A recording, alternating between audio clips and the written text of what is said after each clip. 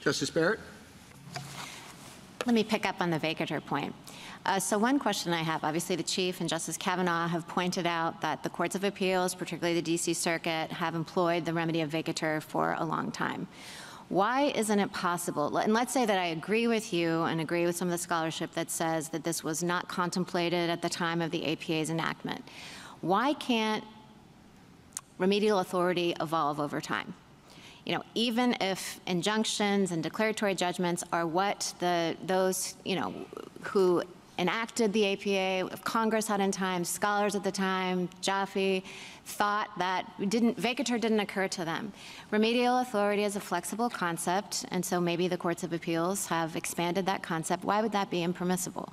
Well, I think it would be inconsistent with how the court ordinarily approaches these types of questions of statutory interpretation. And I think if you agreed with us that this is not what Congress meant to authorize when it enacted Section 706 of the APA, then there would be kind of no basis to alter the text at this date and to suggest that actually the court can read into that language that all agree was not intended to cover vacatur. But to set aside is broad, right? It's not specific. And even in 703, it says including actions for declaratory judgments or writs of, you know, prohibitory or mandatory injunctions. It doesn't exclude it.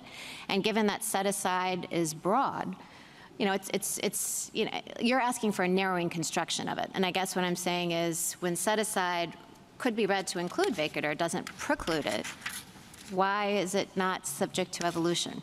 Well, I think that there's an additional problem here with trying to expand it in that basis insofar as it would expand beyond party-specific relief, and that implicates its own considerations under Article 3 uh, and implicates the same arguments we've been making about nationwide injunctions, that when courts issue remedies that go beyond the parties in the case, it can take courts beyond the traditional forms of relief that are authorized, whether under Article 3 or under the statute. So I think here, reading into the statute a new unprecedented remedy that would apply on the agency action itself instead of with respect to the parties would be problematic. Okay, I'm glad you brought that up because I have a question about that too.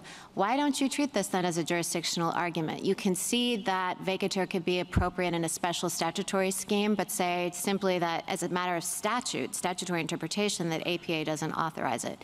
Why isn't it a matter of Article 3 jurisdiction? Why do you concede that it would be accept, acceptable if Congress specifically authorizes it? Well, you know, as this court well knows from its various cases, trying to parse that line on whether specific statutes are jurisdictional or not, uh, it, it, can often require Congress to speak very clearly if it's trying to attach that jurisdictional label. And here, with respect to the remedies that the APA contemplates, we no, no, no. I mean, as a matter of Article Three. As a matter of Article Three jurisdiction, you know, I guess it would be possible to think about it that way. We haven't made that argument, but I wouldn't want to shut the door on it uh, mm -hmm. because of the the particular concerns with extending beyond party-specific relief. Last question on jurisdiction.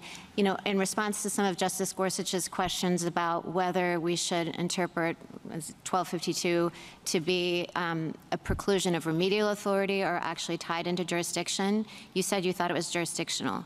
If you think that the APA doesn't authorize the remedy of vacatur, is that jurisdictional? We By that same logic, I mean.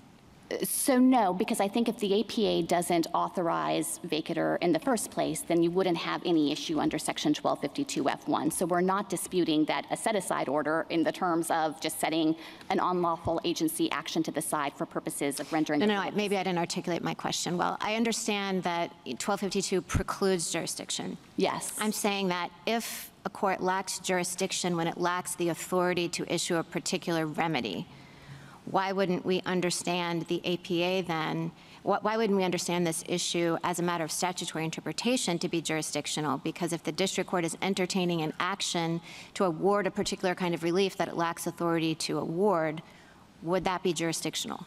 We have not previously argued that this APA limit is jurisdictional. Um, the reason we've made the arguments under 1252 is because it specifically says no court shall have jurisdiction to do this, and we think that that is Congress clearly acting to attach jurisdictional consequences to an exercise of remedial authority. But I take the point, and I think it might be possible to conceive of a jurisdictional basis as well if a statute is actually preventing a remedy from being ordered. Okay, last question. This one goes to the merits. So Justice Alito was asking you, um, you were kind of going back and forth with him about the complexities of making the determination whether a non-citizen even falls in one of these categories in the first place. And I just wanted to give you a chance to address how, you know, there's a portion of the statute that talks about your, um, it's in C, D, the Attorney General shall devise and implement a system to make available daily on a 24-hour basis um, to state, federal, and local authorities uh, to determine whether individuals arrested for such authorities for aggravated felonies or aliens, and then it- it goes on. Why isn't that where the discretion and the resources should be channeled as a matter of statute rather than into the holistic inquiry that the memorandum dictates? So I, I certainly acknowledge the point that Congress might have anticipated that it would be easier to make this determination about aggravated felony status, and it, it set up mechanisms to try to ensure that there was information sharing between the federal government and the states. And I think maybe Congress couldn't have anticipated the, the developments in this court with respect to the categorical approach and the legal complexities that would raise about trying to monitor any number of varied state statutes that can be drafted in, in very different ways, with the end result being that before it's possible to determine with certainty that someone is subject to 1226C2, it often involves an investment, a considerable investment of resources and consultation between officers and, and legal uh, advisors to try to ascertain the scope of that provision. But you do have such a system? Yes, we do have systems to share information between states and the federal government with respect to those who, who have criminal convictions in state court. Thank you.